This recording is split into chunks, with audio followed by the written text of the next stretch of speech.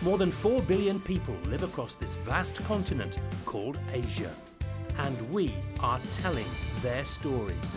On this edition, harvesting bird's nest the traditional way. Is fast becoming a dying trade in the Philippines and elsewhere in the region. And coming to the rescue for those in need. Medical boats in Thailand now able to respond quickly and provide immediate treatment for emergencies in the remote islands. I'm Martin Lowe, and this is Assignment Asia.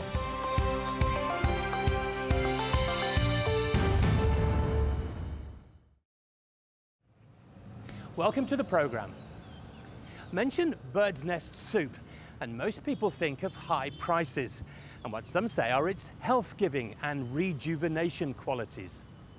Indeed, for decades, the lucrative nature of the delicacy has prompted many people to turn to harvesting bird's nest, sometimes at great risk to themselves. In El Nido, located in the Philippines' Palawan province, some have been harvesting bird's nest for generations.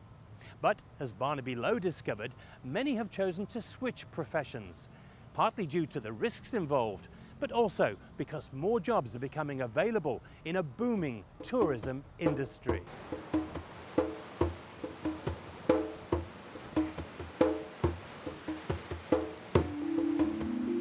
It's considered the Philippines' last ecological frontier.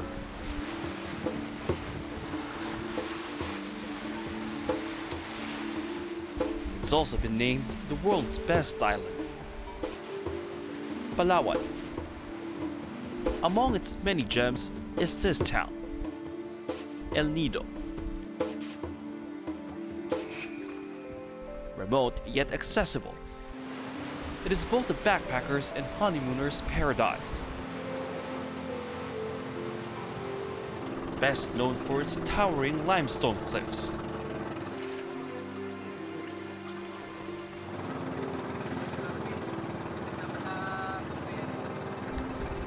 A century before El Nido's tourism boom, however, these rock formations have been a source of livelihood for locals.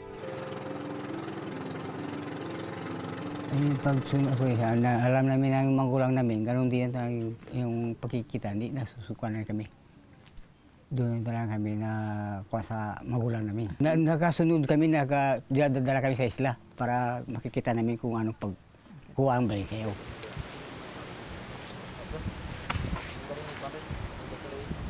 Nemisho Abrea, now 66 years old, had no doubt in his mind that he would be following in his father's footsteps. Who was, in their local language, what's known as busyador. Someone who collects nests of tiny birds known as swiftlets, or what most of the rest of us would call bird's nest.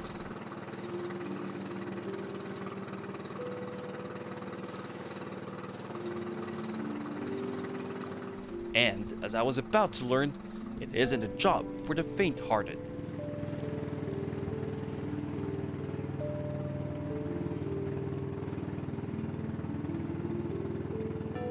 As experienced as Demisha was, sea and weather conditions were unforgiving for his age.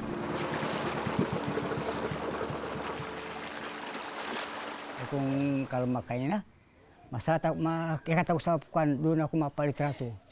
Sa Pinas talaga. Kaya ang lakas ng hangin, hindi tayo makakuha sa tabi.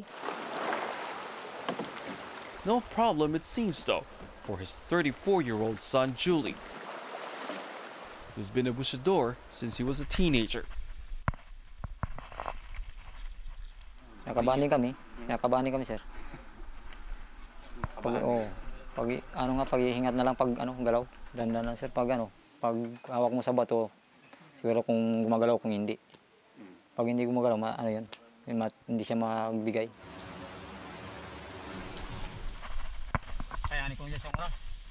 It took Julie no more than 20 minutes to disappear from our view. At what point he'd gone in the cave, or if it did at all, I couldn't tell.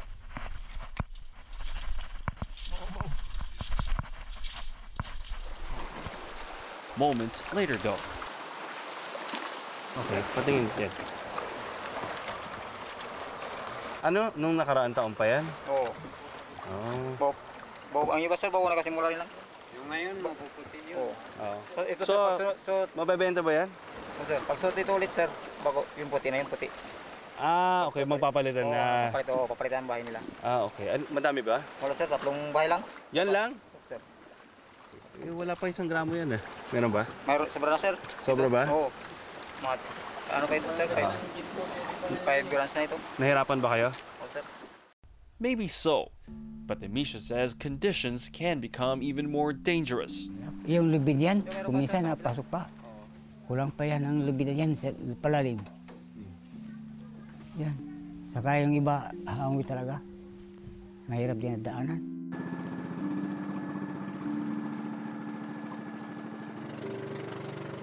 Judging from what I witnessed, though, I didn't think there was any way I could see with my own eyes how they spot and collect the nests. So apparently there is a slightly less risky location where these guys can harvest bird's nest. It's over there. And you know, I thought I could go in with them, um, but they said it's likely I can't do it. But I could try, they said. So I did.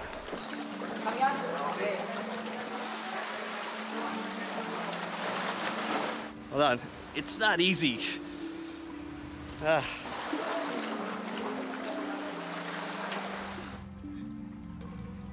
Before I knew it, Julie had found a nest. Pero, Mabasak. pero kung dapat si tinidor, And then another one. Makikita ni sir. I thought one of them would scale the wall. But they came prepared. Yun din ang bali sa'yo? Oh. Kulang ko lang Ah, susungkitin ninyo. Oo, susungkitin niya sir. Sir, dito sir. Sige lang. Any higher, though, someone would have had to climb. Which, you can imagine, is even riskier. Aksidente na ho ba kayo? Wala pa rin, pero ingat kayo lang. Nag-iingat din kami. May mga kaibigan kayo na na-aksidente na. Oo.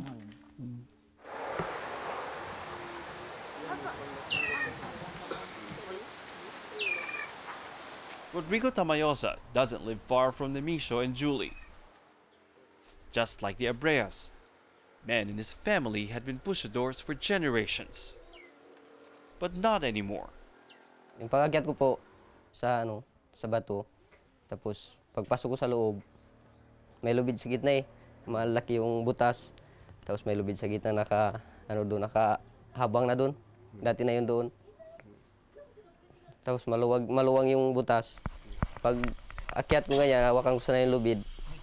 Dito nakakapit sa bato ganyan. Naputol yung batong ginakapitan ko. Dito, nag-aabot ako ng lubid. Yung lu- lubid hindi ko pa abot. Inaabot ko sana ng lubid. Tapos ako nagpatong na ganyan. Naputol yung ano, yung bato. Pagputol ng bato, nag daw susang ko ba. Ipigilan ko pa sana yung ano ko ba, tukod ako sa kamay bilaan. Ay wala na diretso na malakas na yung ano. Bitaw na lang ako. Hanggang sa kaligitna, naramdaman ko pa pero pag bagsak ko, hindi ko na po alam. Wow. Gano'ng kataas yun? 14 di pa po yun, sir. Pwede kang mamatay nun, ano? Opo. May bato po sa ano, malalaking bato, magkabilaan. Bato. Doon po na ako nag-shoot sa gitna. Ano ang tumama? Ito po yung ano. Paglaglag ko po, nagasubsob ako. Ito yung tumama sa ano, bato. So, yung tumama ito, Ito po. oo. So ngayon, ano nangyari sa'yo? Ito ano na. Ito nag-glaze itong buto. Oh. Ito putol to. Putol ito? Opo. Putol po ito. Kaya ito nag-glaze dito. Rodrigo's face is forever altered, but he survived. His brother wasn't as fortunate. Mag-isa lang po siya nag-akyat sa taas. Yung kasama niya sa baba. Hindi rin nila na ano, paano na nahulog. Nung dinala siya dito sa bahay nyo, ano nakita mo? Sugat-sugat ng katawan. Dito malaking sugat dito. Tapos, baluktot ng ganito niya. Pa, siguro na ano, banda-banda sa bato. Kalaglag. Nung time na yon, naisip nyo, pwede pa siyang mabuhay. Parang lapas yung utak niya eh. May puti na naglabas sa ano niya, sugat. Posibilidad na utak na yung naglabas na yun. Kaya yun, parang wala nang pag-asa. This happened even before Rodrigo became a bushador. He knew the dangers, but couldn't resist the income. Walang ibang mga, ano kasi sir eh, Maki- magkitaan ba? Ang hirap ng buhay. Nung panahon na yon, na nagbubusyador ka, magkano ang kita? Minsan mo mga 5,000, ganyan. Pero gaano kadalas yung 5,000 na yun? Minsan, minsan, minsan. Isang beses sa isang buwan. Kaya ganyan. Ganyan lang.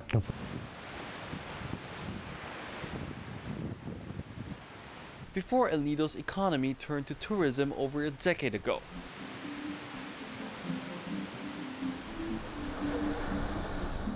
And even until today for some, $100 was hard to come by. Except during the bird's nest harvesting season, which runs from the months of December to May. For the longest time, the nests were the backbone of El Nido's economy, according to the town's mayor, Nieves Rosento. El Nido before is very popular for the swiplets uh, bird's nest we have. So in it's it's really a lot in El Nido before. So in that's also the number one industry we have before after for long years. So and this is very popular also for the Chinese merchants who went here at El Nido for uh, almost 100 years.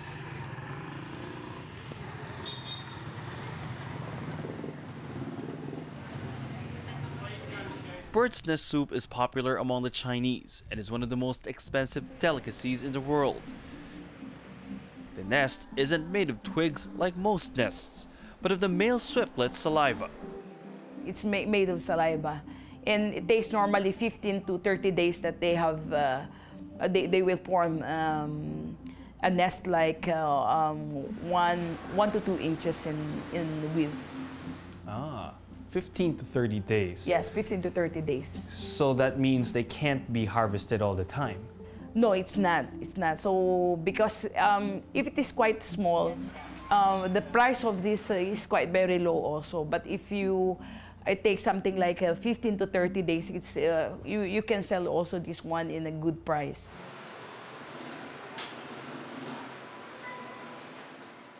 Edible bird's nests are sold anywhere from 2,500 to 10,000 US dollars a kilo in the open market.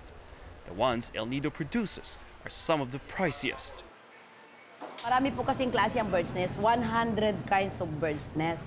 Mayroong, mayroong culture, may manufactured, mayroon ding ah, nature. So ang atin ay nature, from the nature. Like isda sa dagat, nature. Ito pinakamahal. Yes. Ang Malaysia Pacita Paredes knows what she's talking about. She's made a living and grown her wealth out of trading bird's nests. She learned the ropes from her Chinese in laws, including how to make bird's nest soup. You know, oddly enough, even though the harvest of bird's nest has been an industry here in El Nido, in Palawan, in the Philippines, it's hard to find a restaurant that serves genuine bird's nest soup. But we did find one. And, well, it's really good. Mm. I think that's, mm, that's bird's nest. In recent years, however, Pacita has focused more on her restaurant rather than on trading. That's because El Nido is losing its bird's nests in a rapid and irreplaceable way. Before they said that um, it was uh, sacks of nests, edible birds that they have. It's a sacks. No, uh, And now it's just it's just only a a small, hand, like a handful. a handful.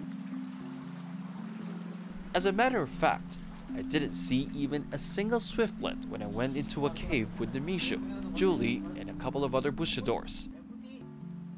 They blame poachers for the decline in the population of swiftlets in El Nido. Namamatay na siya, sir. Sa, sobrang tanda na. Yung mga Ibon. ibon, hindi napapalitan. Meron din pero ma, karamihan yung ano. Hindi nakakaitlog kasi, hindi nakakapisa. Ano ibig sabihin? Hindi, Hindi naka... nakakapisa. Paano hindi nakakapisa? Ay, hindi na nanganganak na ba? Oo, hindi na nanganak. Bakit? Kung minsan pag ano, kinukuha rin kagad. Kinukuha. Yung pugad.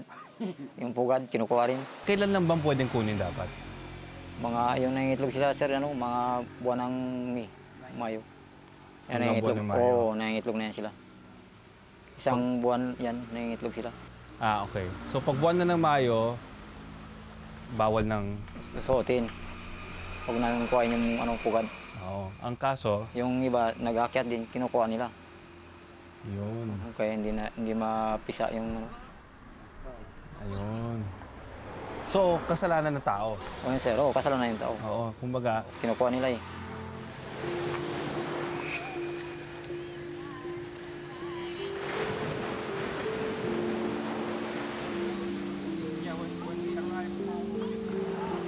Mayor Rosento says the local government's tourism drive is also partly to blame.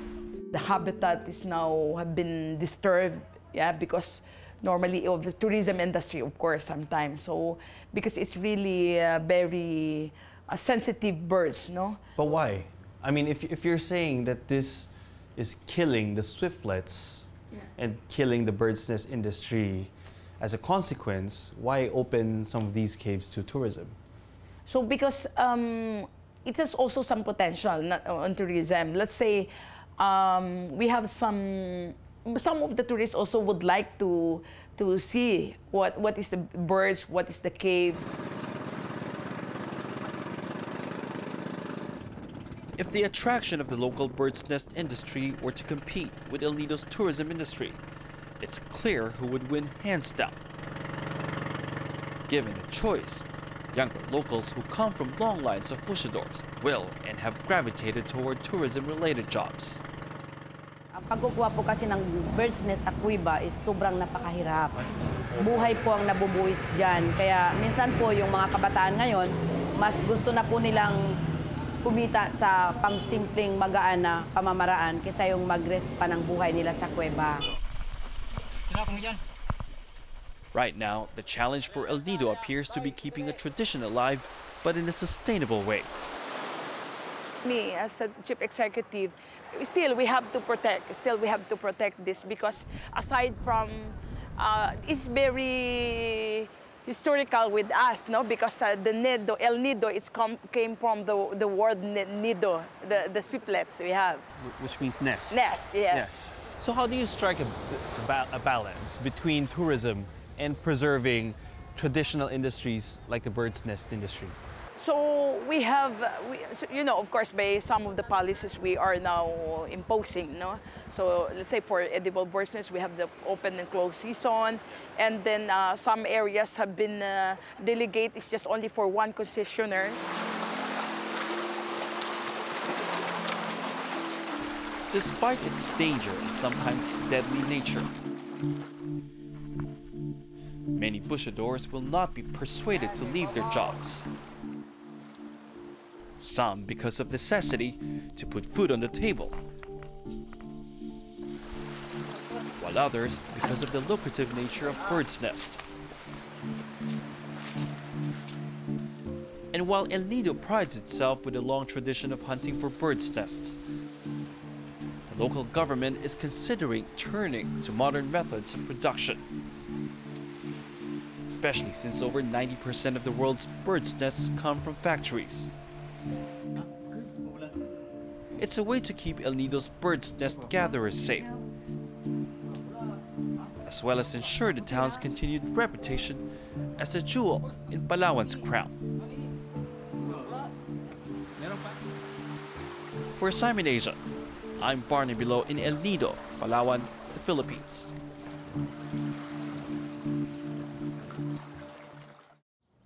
In recent years, traditional methods of harvesting birds' nests have been replaced by new farming techniques, most notably in the form of birds' nest factories. Located mainly in Southeast Asia, especially in Indonesia, these factories emulate cave environments and try to attract swiftlets by blasting music through loudspeakers. Next on Assignment Asia, saving lives and raising safety standards.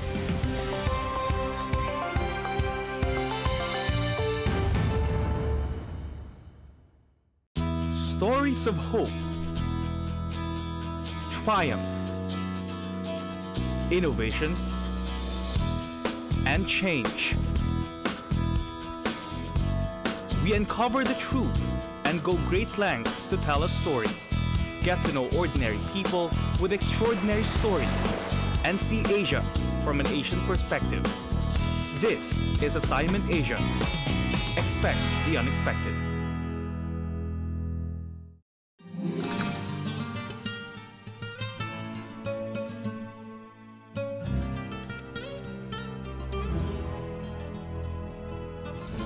Culture Express. See the world in color.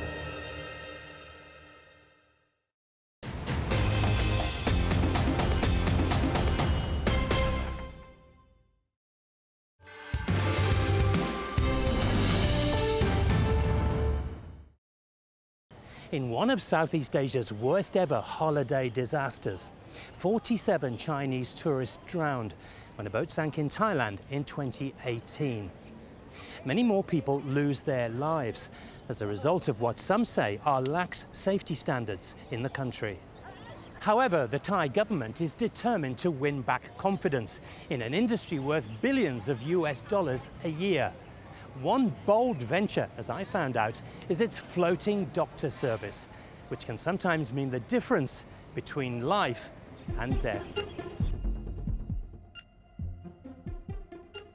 A scuba diver has decompression sickness. It's life threatening. It's too serious for this medical post on a small Thai island. He needs to get to hospital as quickly as possible. The floating doctor, a high speed medical boat, is summoned to carry him to the mainland and specialist help. In an area that attracts thousands of divers, swimmers, and snorkelers, drownings are amongst the most common accidents. But many who would otherwise have perished now survive to go home to their families and loved ones. Not every mission means a life saved, but the boat has had remarkable success. พร้อมกับคนไข้ชาวจีน นะครับผู้ชายอายุประมาณ 50 ปีนะครับคนไข้เริ่มไม่รู้สึกตัวนะครับคำชีพจรยังได้อยู่ แต่คนไข้เขาเรียกว่าหายใจเฮือก เป็นอาการของที่บอกว่าคนไข้ขาดออกซิเจน ตัวเขียวตัวเริ่มเขียวนะครับแล้วก็ลักษณะที่ปากเนี่ยก็จะมีการสำลักน้ำอยู่ตลอดเวลา ก็ทำการใส่ท่อช่วยหายใจนะครับ แล้วก็ทำการดูดน้ำนะครับ แล้วก็ให้สารน้ำแล้วก็เตรียมพร้อมนำส่ง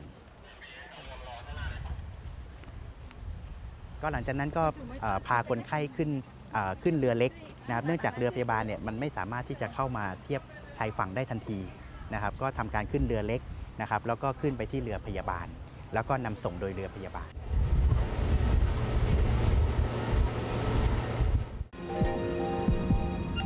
The floating doctor is a sea based equivalent of Australia's famous flying doctor, where aeroplanes carry medical staff to remote areas. It's one of the measures Thailand is adopting to improve safety for its more than 35 million annual visitors. There are now three floating doctor boats in the Phang Nga region just north of Phuket, where many islands are far offshore. The boats are supplied by the Royal Thai Navy. The doctors and nurses on board are from the Public Health Department. One boat is kept at Phang Nga Naval Base, another at the Surin Islands, and the third is here at Koh Miang in the Similan Islands National Park, 70 kilometers from the mainland. Thailand can be a beautiful but dangerous place. Every year, tourists arrive in the hope of a dream holiday. Some never go home. The worst disaster in memory came in July 2018 when the tourist boat Phoenix sank off the island of Phuket. 47 Chinese holidaymakers drowned. There were questions about the boat's seaworthiness and the competence of the crew. It was a wake up call. The Thai government made a promise to improve safety standards. ประเด็นสำคัญก็คือเรื่องของความมั่นใจ ในเรื่องของ safety and security นะครับในเรื่องของความปลอดภัยมาตรฐานความปลอดภัยเพราะฉะนั้นเนี่ยโครงการนี้เพื่อทำขึ้นเพื่อตอบสนองว่าเอ๊ะเราจะสร้างความเชื่อมั่นให้กับนักท่องเที่ยวที่มาเที่ยวกับประเทศไทยได้อย่างไร นั่นคือนั่นคือวัตถุประสงค์หลักนะครับ Sometimes medical assistance is close by and can be given quickly, but on distant islands like this, it can be hours away. This boat can reach people in need at high speed, providing instant treatment and quickly transporting a patient to specialist facilities. Early morning, streams of tourists board boats to the islands from a pier on the mainland.